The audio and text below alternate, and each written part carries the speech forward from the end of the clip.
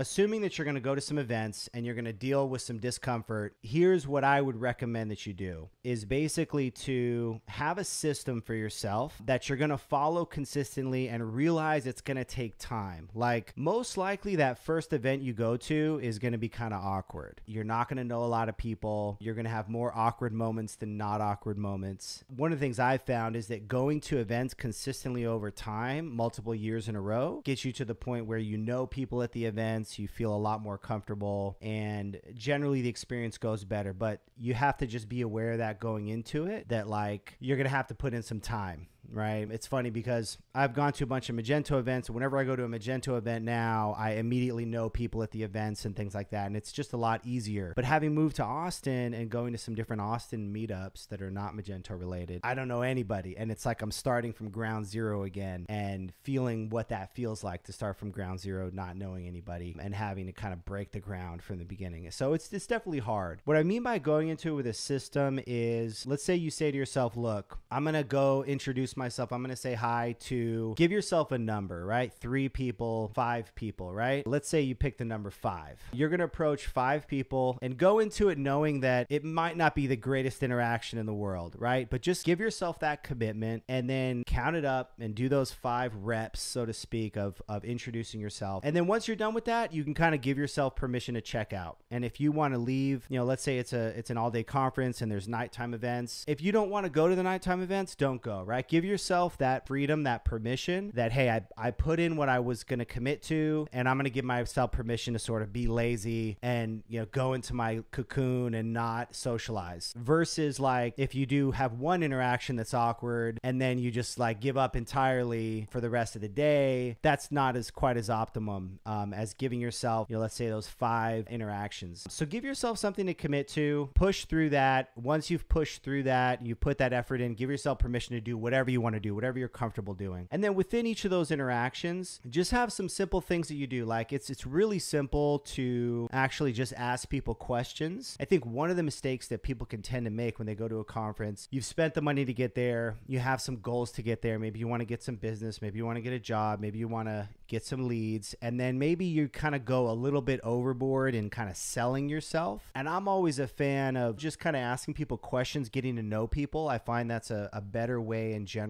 to engage with people, to connect, really to network with people is just to be curious, just to ask questions. Walk up to somebody and it's like, hey, how you doing? Nice to meet you. Da da da. Where do you work? And then they'll ask you where you work. And then, you know, oh, what do you do there? Give yourself a list of questions, right? The first one, obviously, how's it going? What kind of work do you do? And then just give yourself like a couple of simple questions that you can ask each of these five people, how long you've been working there. It's really, really basic. But what happens when you're meeting people for the first time is you feel awkward, your voice is awkward, everything's awkward, you get flustered, you don't know what to say next, kind of a thing. So just give yourself that little roadmap of those short list of basic questions. And then as you're talking more, see if you can just ask more questions. People generally love to talk about themselves. So just asking people questions, being inquisitive is a great way to connect with people. And then, like I said in the beginning, like sometimes sometimes you can go a little too overboard in selling yourself. On the flip side, it's always a good sign if you're asking somebody questions and then they ask you a question and then they go, "Oh, so